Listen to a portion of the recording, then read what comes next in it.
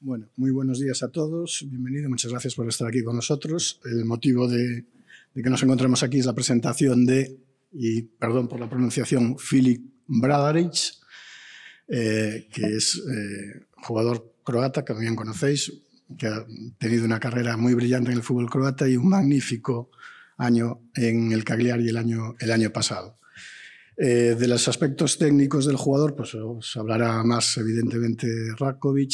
Yo sí quiero hacer señalar que, bueno, Philip es de un pequeño país que con un poco más del 30% de la población de Galicia y, un poco más del 30% del territorio, es una potencia mundial en muchísimos deportes, todos sabemos, baloncesto, balonmano, waterpolo, por ejemplo, y en el fútbol se ha incorporado con nosotros, viene a ayudarnos sin duda, un subcampeón del mundo.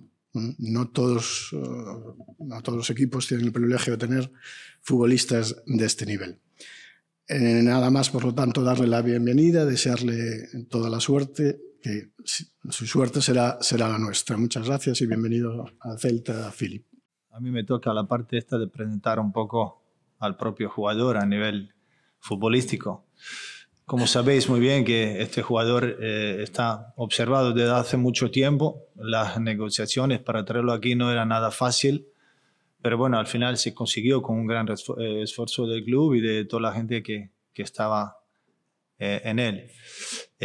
hablando un poco de las características del jugador, se trata de un jugador altamente dotado técnicamente, que tiene muy buen juego posicional una gran capacidad creativa, tanto en, corto, medio o largo desplazamiento de balón. Eh, dependiendo de lo que el entrenador podría pedir de él, más eh, compromiso defensivo o ofensivo, el jugador puede ofrecer las dos direcciones de juego. Eh, tiene un muy buen golpeo, incluso su visión de juego va más allá de los primeros 15-20 metros, sino él incluso muchas veces puede jugar el primer toque eh, enviando el pase largo a un compañero que está a distancia muy larga. Eh, todo lo que él eh, adjunta en, a nivel técnico, táctico y físico, pues yo creo que nos podría encajar bastante bien en lo que necesitamos nosotros en este momento, por lo que vimos esta opción como mejor para traerlo y, que forma parte de, de nuestro equipo. Por mí, yo creo que esto sería suficiente para darle unas primeras pautas sobre el jugador.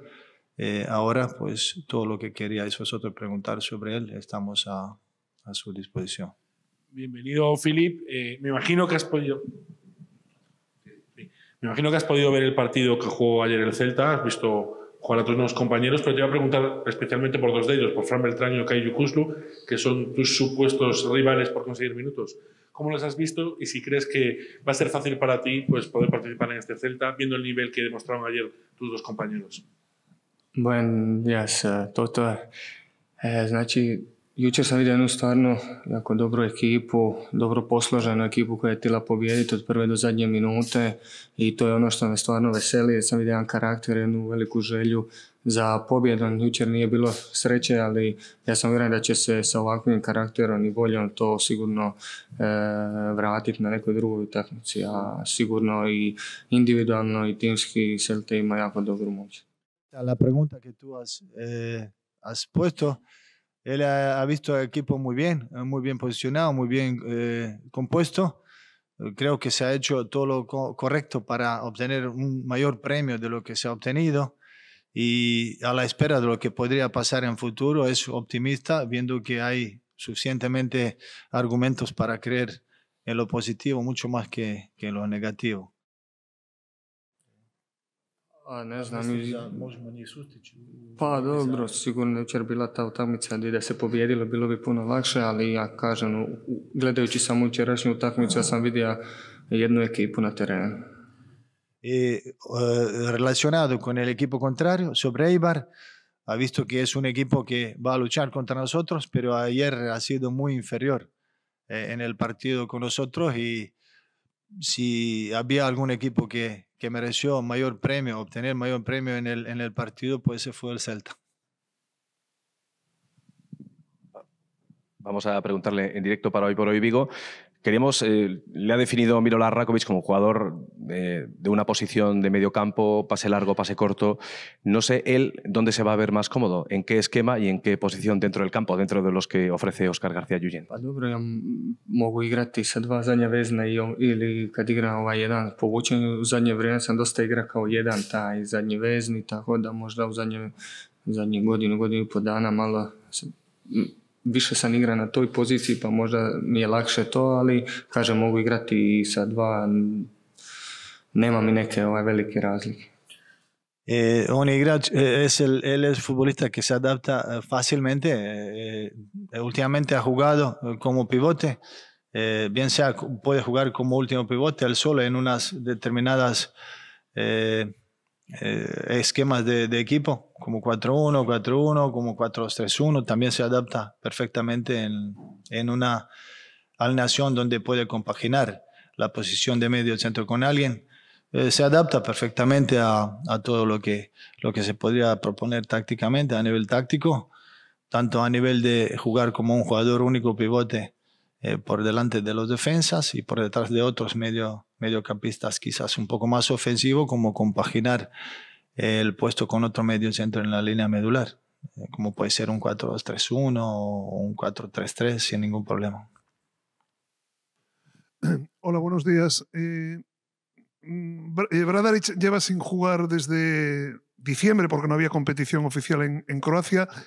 ¿Él cuánto tiempo estima que, necesita para estar de nuevo a tope de rendimiento? Dobro, sigurno da je to malo ovaj... E, da, da, da, mislim, e, situacija je takva da sam ja sad s ekipom, znači, bija u, u, pripremama da se radilo dobro i jako. Nisam ja 100% sad da mogu reći kako šta di, ali već sam i trenira s ekipom i od sutra ponovo smo svi zajedno, ja ću od prvog dana, da, da, od prvog dana ću se, već sam se uklopio s njima i radim i mislim da neće biti nekih velikih problema.